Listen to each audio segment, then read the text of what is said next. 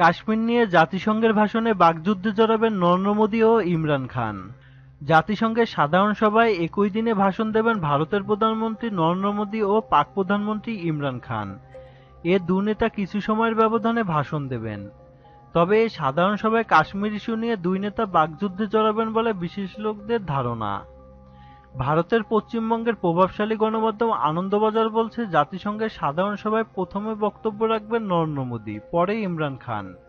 কাশ্মীর নিয়ে গত এক মাস ধরে চলা কূটনৈতিক টানাপোড়েনে এবং বাগযুদ্ধের মধ্যে তাদের বক্তব্যের বিষয়টি কৌতূহলের কেন্দ্রবিন্দুতে চলে আসছে এ মাসের শেষের দিকে।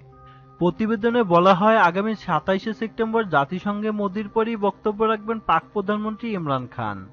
যদিও কোনো কোনো সূত্রের দাবি নরেন্দ্র মোদী না ইমরান খান কে একবে ভাষণ দিবেন তা এখনও স্থির হয়নি।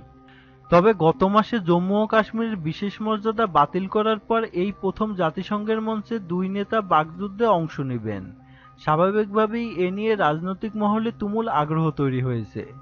কাশ্মীর ইস্যুতে এদিকে মোদি যেমন আন্তর্জাতিক মহলে সমর্থন জোগাড়ের চেষ্টা করেছেন অন্যদিকে ইমরান খানও এ নিয়ে সরব হয়েছেন। এই ইস্যুতে গত এক মাস বরাবরই আন্তর্জাতিক মহলের দৃষ্টি আকর্ষণের চেষ্টা করে চলেছিলেন তিনি।